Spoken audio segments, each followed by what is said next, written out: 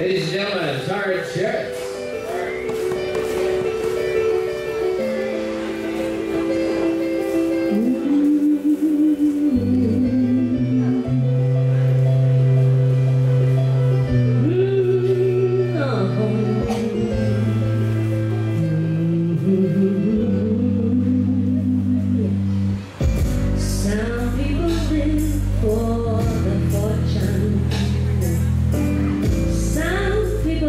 just for the.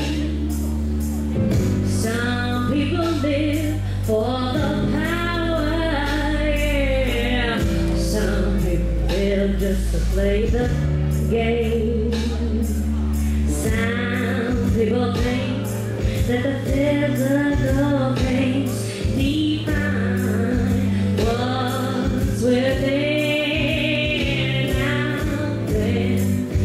little bit but then.